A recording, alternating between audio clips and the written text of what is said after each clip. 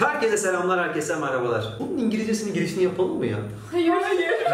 bir dakika ya siz şu an e, herkese selam, herkese merhabalar. Yani herkese selamlar de sen de merhabalar ya da tam Hocam tersi. selam merhaba. İkisi de hello yani. Yok mu bunun Hello karşılığı? everybody. Ne yani? Ne yani?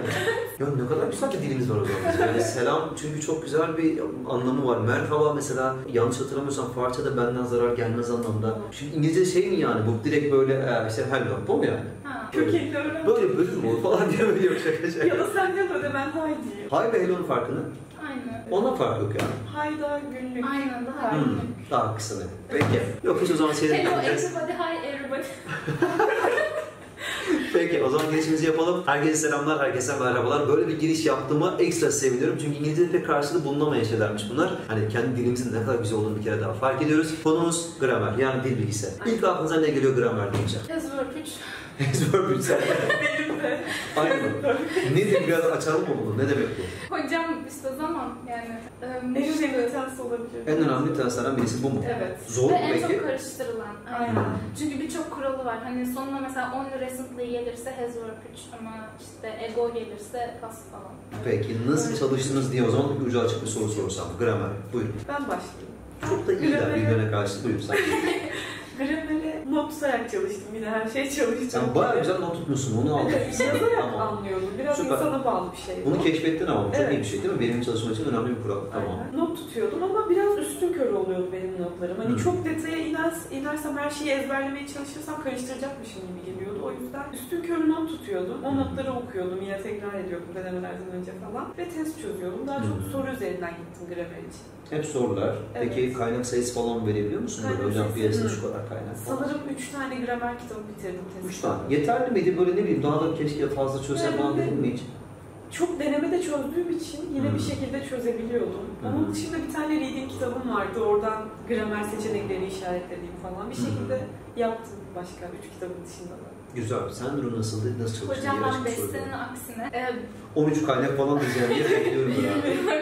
E, şey dedi ya hani çok detaya girmeden not alıyordum. Kafam karıştırdı, karışıyordu diye. Ben de tam tersine bütün detayları bile not alarak çalışıyordum. Çünkü sorularda karşımıza gelebildiği için her türlü en detay soruları bile sorabildiği için soru bankaları. Hani ÖSYM bunu çok yapmıyor ama soru bankalarında karşıma çıkınca yapamayınca sinirleniyordum. O yüzden hani en ufak bir kural bile not alıyordum defterime öğrenebilmek adına.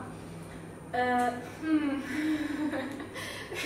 Böyle Onun için mi gülüyorsun? kitap yemedik kitabım herhalde. geldi. Evet. Evet. Kaç kitap da çok mu? Hocam sanırsam dört. 4 kitap. Yani hemen evet. yakınsın zaten. Hemen hemen yakınız. Zaten şey oluyor genelde, salt böyle gramer kaynağı çok yok piyasada. Hı. Hani genel olarak İngilizce yeterliliği üzerine hani mesela bir kitabın içinde gramer de oluyor, işte vocab de oluyor. Karış. Aynen şey de oluyor, skill soruları da oluyor. Aa skills eklemedik. Evet soru tipi. Bence burada paylaşabiliriz çünkü 5. videoda Tamam. Bayağı da dolular arkadaşlar yani hocam bir video daha çekelim hatta 2021 Hocam 2022. Ha evet. 10. sınıflarda mı çekelim?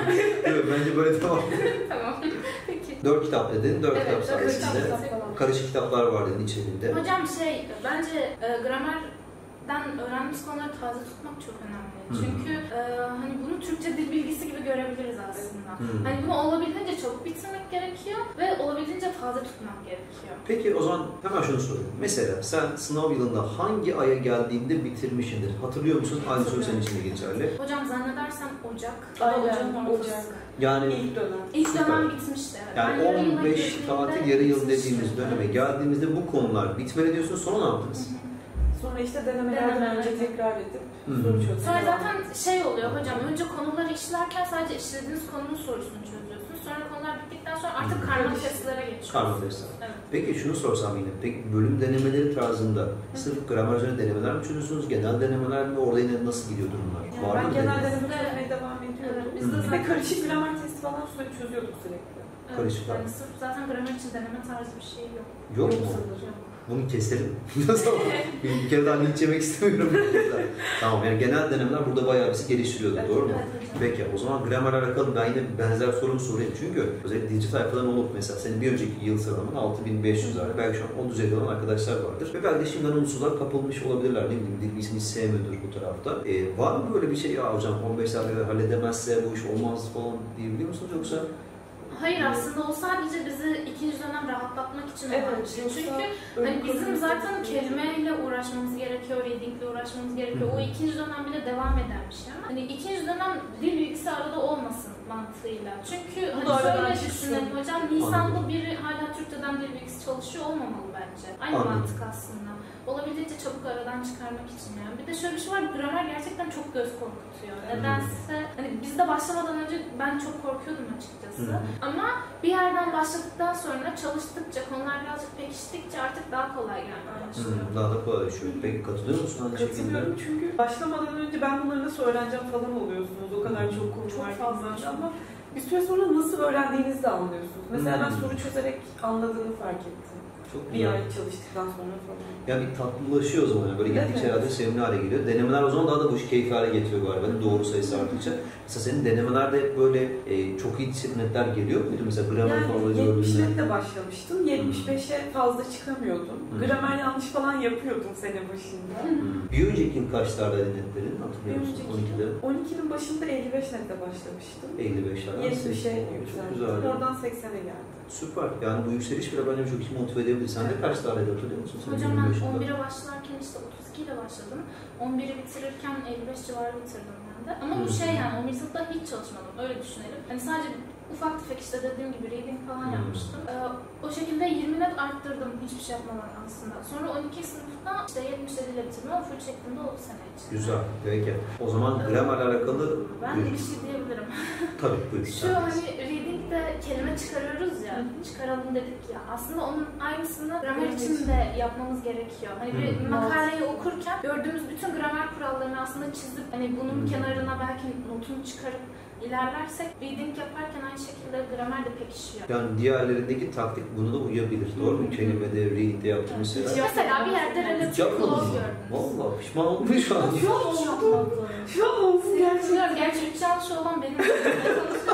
Arkadaşlar 3 yanlış olan kişinin verdiği taktiği full yapan yapmamış sonra sıkıntı yok yani. Ben Kaldı burada şu an. Yok yok çünkü işe Hayır, yarayabilirse çok tabii ki önemli.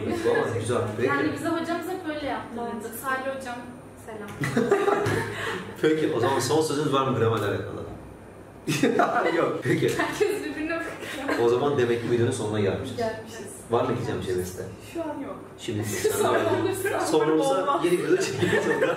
Peki arkadaşlar o zaman biz gramer alakalı kısımda bitirdik ve Dilci Tayfa'nın serisinin sonuna geldik. Benim çok teşekkür ediyorum. İstanbul'da hiç erinmediler, gücenmediler, sağ olsun açıklar geldiler. Ben de İstanbul'dayken çok güzel bir serisi hazırlamış olduk size. Yorumlarınızı inşallah okuyacağız, değerlendireceğiz. Daha başka videolar belki ilerleyen zamanlarda isterlerse yine çekebiliriz. Kendinize çok çok iyi bakın. Siz de istersen vedalaşın arkadaşlar. Buyurun.